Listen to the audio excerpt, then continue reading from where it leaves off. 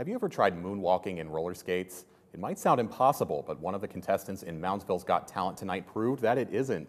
Six different acts sang, danced, and played original music and more, all for a chance to win $300 and a spot as the opening act for a future Moundsville Jefferson Friday event. You may recognize a couple of the faces in this video, as 7 News reporter DK Wright was one of the judges, and MC Tony Summers spends his summers with us covering the things to do near you.